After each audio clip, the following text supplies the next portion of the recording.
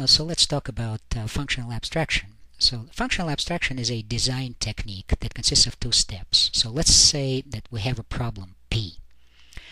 In the first step, we uh, divide that problem P into a bunch of uh, subproblems or um, subtasks. So let's say subtask 1, subtask 2, uh, subtask 3, uh, subtask 4, uh, and so on and so forth uh, until some final subtask n.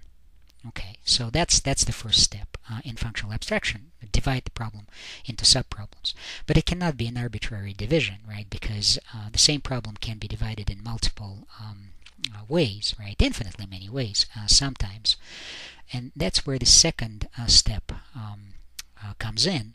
so the second step is to make sure that each of the subtasks maps naturally uh, to a function or can be implemented as a function or as a procedure.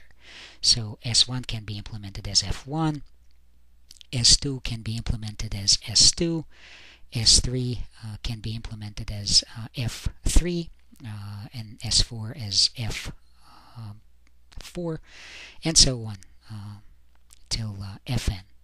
So we have so we have two steps, right? First uh, division of subtasks, uh, uh, a division of the original problem into subtasks, so that each subtask maps naturally to a function or a procedure. All right, so let's use functional abstraction in our Newton square root approximation problem. Right, so this is our NSQRT problem, Newton square root. So um, what are the subtasks, identifiable subtasks? Um, okay, well, uh, the first identifiable subtask uh, is um, computing the square of a number. Um, so let's uh, write it down, square. Okay, and then let's fix the link. There we go.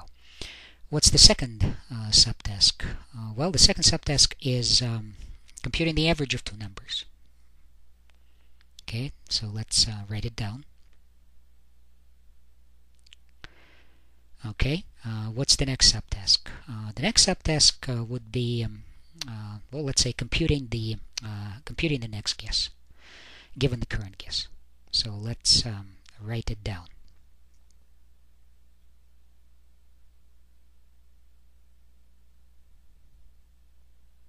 Next guess. Okay, so far so good. So uh, then we need to compute the goodness of our current guess. So let's call that uh, subtask uh, is guess good enough.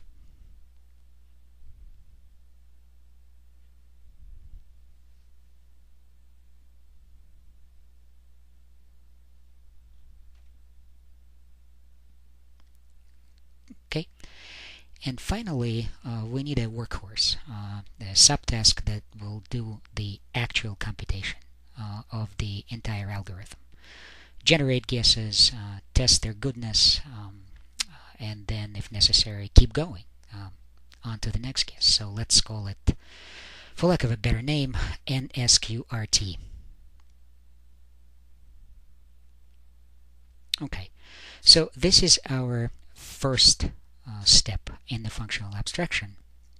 We have uh, uh, chunked the problem of Newton square root, um, computing the Newton square root approximation into subtasks. And then the second um, step is actually mapping each subtask into a Python function. So let's say average into Python function number one, um, square, uh, sorry, rather square into uh, Python function number one, average into Python function number two, next guess into Python function number three, is guess good enough into uh, the fourth function, and finally nsqrt into um, the fifth function.